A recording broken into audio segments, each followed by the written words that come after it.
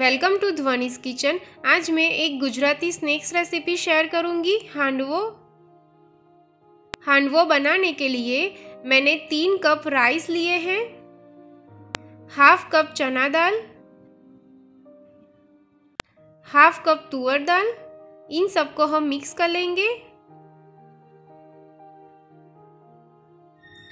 इसको हम पाँच से छः घंटे के लिए पानी में भिगो देंगे। पाँच छः घंटे भिगोने के बाद अब हम इसको क्रश कर लेंगे। मैंने एक कप दही लिया है, कर्ड। हम दही डाल के ही उसको क्रश कर लेंगे। तो अब ये मिक्सचर क्रश हो गया है। अब हम इस बैटर को छः सात घंटे फर्मेंटेशन के लिए साइड में रख देंगे। छः सात घंटे फर्मेंटेशन होने के बाद अब ये बैटर तैयार है। अब हम इसमें ये सारे मसाले डाल देंगे। ऑयल, वन टीस्पून अदरक, हरी मिर्च और लहसुन की पेस्ट, नमक, वन टेबलस्पून आचार मसाला, फोर टेबलस्पून तिल, हाफ़ कप गुड़, वन टीस्पून अजवाइन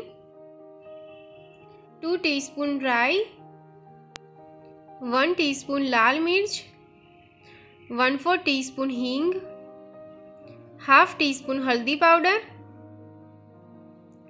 one teaspoon cooking soda. मैंने लौकी को घीस लिया है। मैंने अराउंड दो कप घीसी हुई लौकी ली है। अब हम इस बैटर में सारे मसाले डाल देंगे। सबसे पहले हम सॉल्ट डाल देंगे। अदरक, हरी मिर्च और लहसुन की पेस्ट। अचार मसाला। गुड़।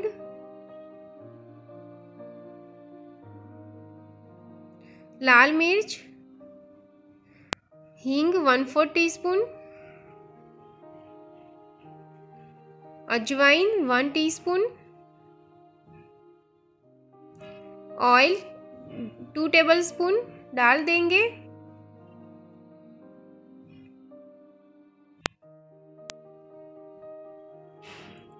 वन टेबलस्पून तिल डाल देंगे। अब हम इन सबको मिक्स कर लेंगे।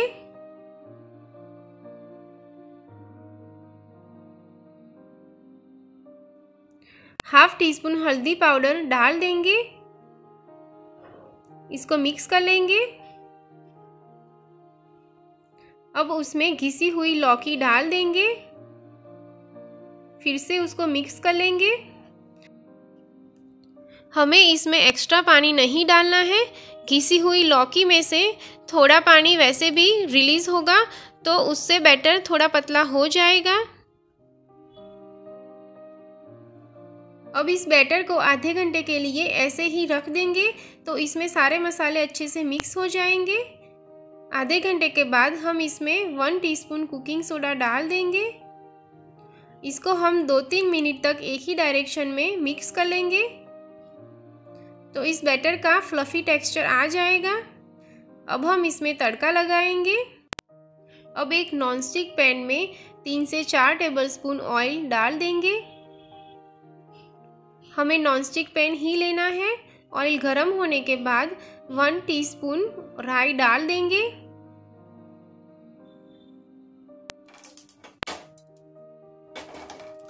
राई गरम हो जाने के बाद हम इसमें दो टेबलस्पून तिल डाल देंगे। और तुरंत ही उसमें हांडवा का जो बैटर है, वो भी डाल देंगे। गैस की फ्लेम लो रखनी है। हमें थोड़ा बैटर ही उसमें डालना है। गैस की फ्लेम मीडियम टू लो रखनी है और इसको हमें छः सात मिनट तक ऐसे ही कुक करना है।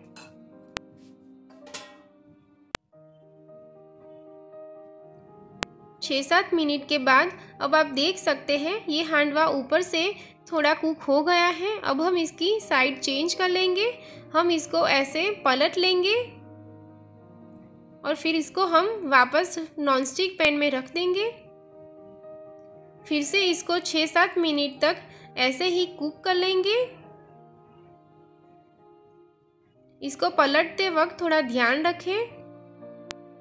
छः सात मिनट के बाद एक नाइफ लेके ऐसे इसको चेक कर लें। अगर ये चिपकता नहीं है तो अब ये हांडवा तैयार है। हांडवा को आप हांडवा कुकर में भी बना सकते हैं। तो अब ये हांडवा तैयार है, इसको हम कट कर लेंगे। इसको हम टोमेटो केचप और मूंगफली का जो तेल होता है, सींग तेल, उसके साथ सर्व कर सकते हैं। इसको हम गर्मा गर्म ही सर्व करेंगे। अगर ये ठंडा हो जाता है तो चाय के साथ ये बहुत अच्छा लगता है। Subscribe here and press the bell button for notification on new videos.